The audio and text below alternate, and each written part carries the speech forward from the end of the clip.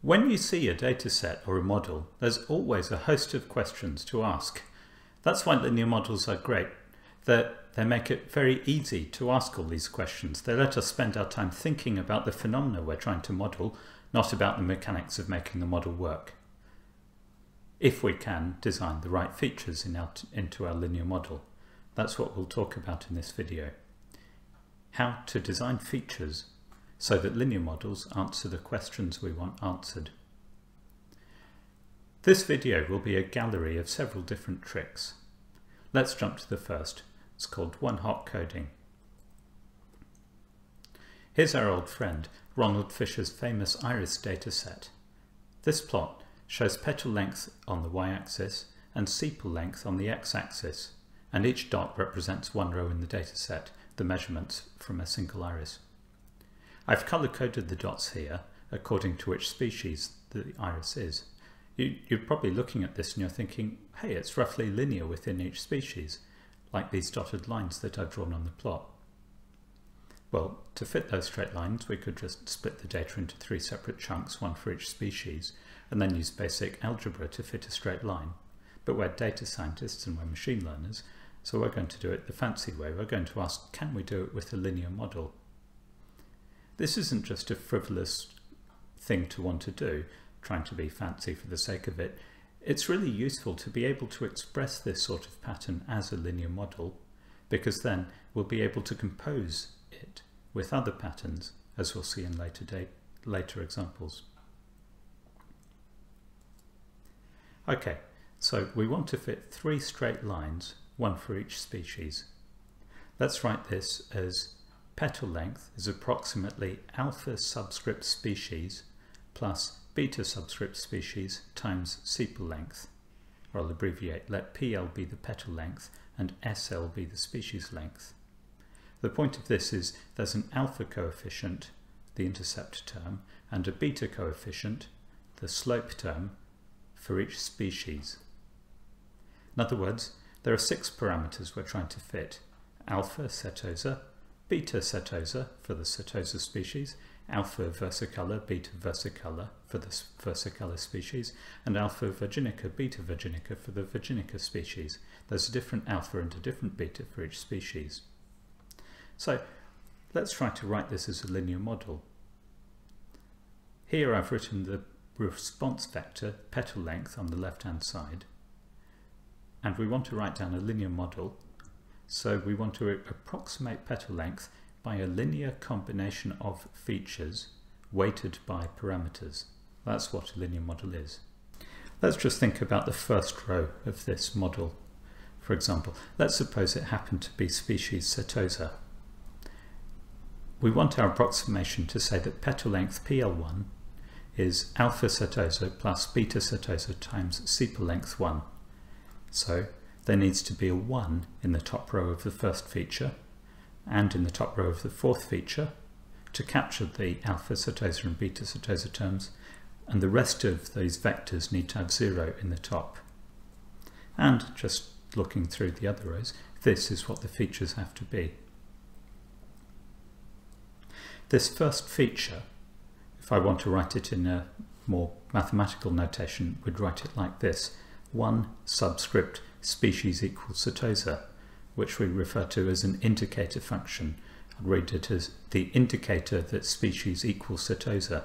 And in this thing, species is a vector. And for the beta setosa feature, we can write that one out as a binary vector too, multiplied pointwise by the sepal length numerical vector. This strategy is called one-hot coding.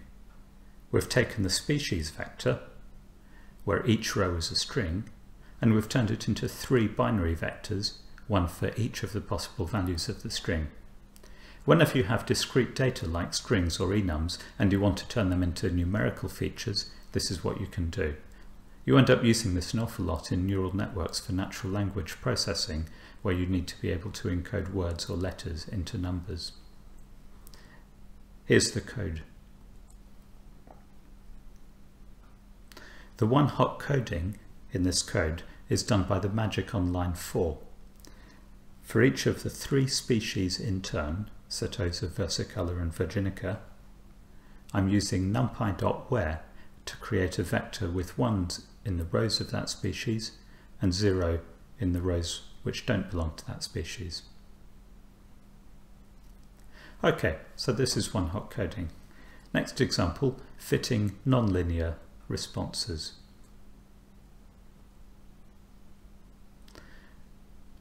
We saw this fit before when we wanted to fit a curve. Remember we proposed the formula petal length is alpha plus beta times sepal length plus gamma times sepal length squared. And this is a nice simple linear model that we've seen how to fit. Remember, linear means linear algebra in the sense that all of the orange terms that I write down here are vectors. It does not mean straight lines on a graph. What if we wanted something more than a quadratic? Well, we could of course just fit a polynomial of higher degree. As you can see, the higher degree the polynomial, the more closely it can fit all the wiggles in the data. The linear model for this is pretty obvious. We just say that petal length is a polynomial. Petal length is beta naught plus sum from little k equals 1 up to big K, beta sub little k times sepal length to the power of k. This definitely produces a wiggly line, which may, we may well want to fit, but I think generally speaking, I think this is a pretty crummy type of model because it just goes haywire outside the region where we have data. If, if we did want to fit an arbitrary shape with arbitrary wiggles to, to, to the data, here's a trick that I think is more honest. Here I'm fitting a step function to the data. Any guesses about how we could write this as a linear model? Pause the video now and try to think how you can use the tricks you've learnt so far to fit a linear model to this.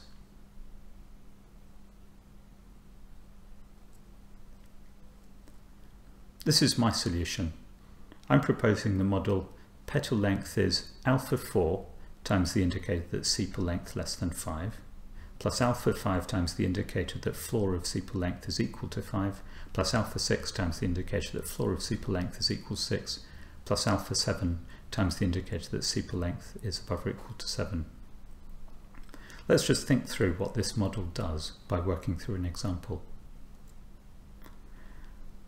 Let's suppose we're looking at a row in the data set, row i, and this row has sepal length equal to 6.2.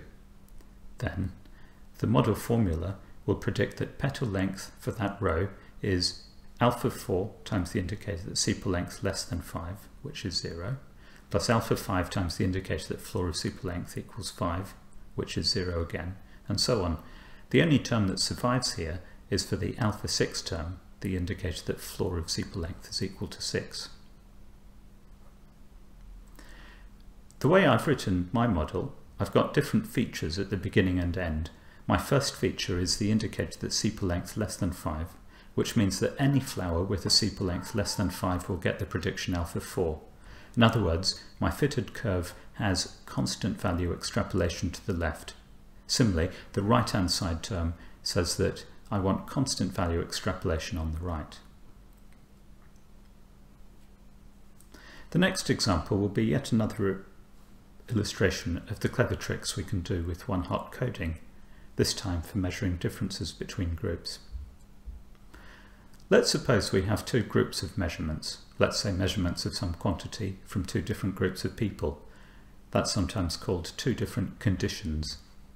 Let's suppose that the first group has measurements x1 up to xm, and the second group, with a different number of people, has measurements y1 up to yn. Typically, you'd want to compare the groups. We could of course just fire up Excel and do the simple thing and find the mean for group A and the mean for group B and subtract one from the other. But let's be fancy data scientists here and let's try to build a model for the entire data set. Again, this isn't just for the sake of being fancy, it's because this idea of comparing groups is a building block that we'd like to compose with other building blocks. For example, if we have two quadratic fits and we want to compare their offsets, then the naive, straightforward methods will turn into hack upon hack upon hack. But if we think in terms of linear models and comparing groups, it's easy to just compose the various tricks that we're learning compose the various features we want into a single linear model and we don't need to think at all about how to get the estimates we want. But this data doesn't actually look too promising for linear modelling though, does it? Because these two vectors x and y have different lengths and how on earth can you put them both into a vector equation? The answer is you don't. First, you need to put the data into a model-friendly format, and the way to think about that is in terms of database tables or spreadsheets. If I wanted to store this data set in a database, I'd create a single table with two columns, one column called condition, the other called value, and I'd stack the two vectors x and y on top of each other. Now it's easy to write out a linear model. A linear model will be that the value column is approximately beta subscript a times the indicator of condition A plus beta b times the indicator of condition B. Actually, this one's quite interesting because there are several different ways we could have chosen to write the linear model. For example, I could have chosen this formula. Value is alpha plus beta b times the indicator that condition equals b. This model predicts value alpha for everyone in group A, and it predicts value alpha plus beta for everyone in group B. So that means that the beta term is actually measuring the difference between the two groups. It's just as good a way to describe the data as the first model says there are two groups and each group has a different response. But it turns out that if we're careful, if we choose how to write our linear model, we end up with different interpretations of the parameters. We'll come back to the interpretation of linear model parameters in the last two videos of this section. Here's a nice extension of this sort of idea. This is a past exam question. This question's about psychometrics. Let's suppose we've asked a bunch of people to predict what each other thinks about certain topics. If we frame this in the right way as a linear model, we can pull out parameters that measure how perceptive each person is, meaning how well they guess what other people are going to say, and also how open each person is, meaning how well they can be guessed by other people. I won't go through the details of this, but you're welcome to give it a go yourself. For the next example of feature design, I'm going to come back to a dataset that we've looked at several times already. Here's the climate dataset showing temperature as a function of time. Let's suppose we want to fit a sinusoid to this dataset. Here's a sensible looking model equation. Temperature is alpha plus beta times sine of 2 pi times time t plus phi, where the parameters here are phi, which controls the left-right phase offset, beta, which controls the amplitude of the sine wave, and alpha which controls the up-down offset. How would we fit it? This section of the course is all about linear models, so of course we should think about linear models and fitting it with sklearn's linear regression command in the usual way. Except linear regression only works for linear models. Remember the definition, a linear model is a linear combination of features weighted by parameters. We'd need our model to look something like this temperature is alpha plus beta times some feature E plus phi times some other feature F. And our sinusoid definitely doesn't look like this. The sine function itself is fine, we're allowed to transform the data however we want to produce our features, but the features have to be pure functions of the data without any parameters. And in our model, the sine of 2 pi t plus phi, it just isn't a feature because it involves phi, which is an unknown parameter. We could throw up our hands and say this isn't a linear model. That's not actually a problem because we have tools to fit arbitrary models. We learnt in the first part of this course about numerical optimization. We could just define a function f that takes in the unknown parameters alpha, beta and phi, computes the residuals, the difference between observed temperatures and predicted temperatures from the model formula, and returns the mean of those residuals squared. Then just bung this into SciPy's fmin command to numerically find the parameters that minimize the mean square error. We could do that, but instead I'm going to show you a nifty trick. That doesn't need anything more than secondary school trigonometry. So here's the model we want to fit. Temperature is alpha plus beta sine 2 pi t plus phi. And here's something you probably learnt years ago and thought you'd never need again, the double angle formula. Sine of a plus b is sine a cos b plus cos a sine b. We just apply this to our sine term and we get this alpha plus beta times open curly bracket sine 2 pi t cos phi plus cos 2 pi t sine phi, which we can just rearrange and get alpha plus beta cos phi sine 2 pi t plus beta sine phi times cos 2 pi t, which is now in friendly linear form. If I just define the coefficients right, beta 1 is beta cos phi and beta 2 is beta sine phi. If I could fit this and get beta 1 and beta 2, I could just use algebra to give me back beta and phi. So what we've produced is a linear model alpha plus beta 1e plus beta 2f, where my features are e equals sine 2 pi t and f equals cos 2 pi t. We can just go ahead and fit it in the usual way with sklearn's linear regression function.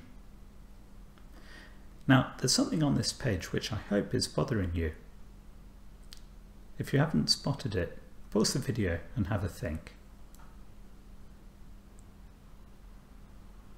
The problem is that this model is very suspicious. It says that temperatures follow a sine wave, alpha plus beta sine 2 pi t plus phi. But that's not a good model because this model denies the possibility of long-term climate change. Let's fix the model. It's totally easy to fix. We just take our periodic model and we add a straight line term plus gamma t. This is what I meant when I referred earlier to composability of linear models.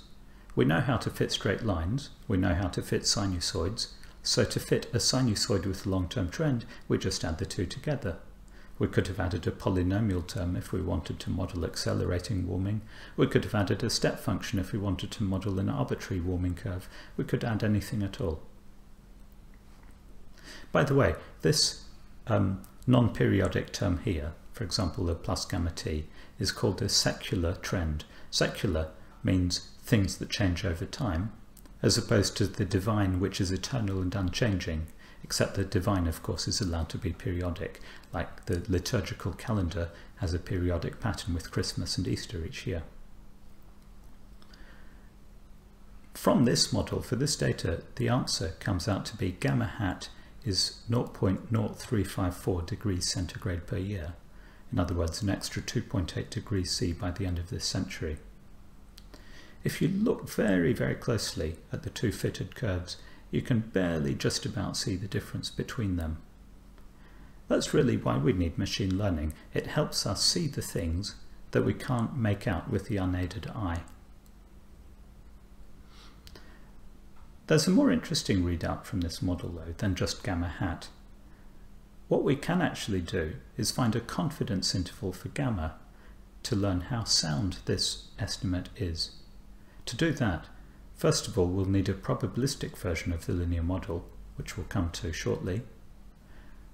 And then we'll need a whole load of thinking about inference procedures, which we'll cover in part three of the course.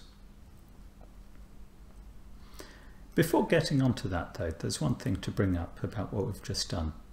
In this final model, we added a secular term plus gamma t because we suspected from our general background knowledge that it might be important.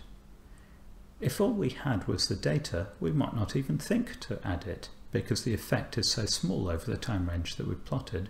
It's just 1.2 degrees C and that's easily swamped by the noise in the plot.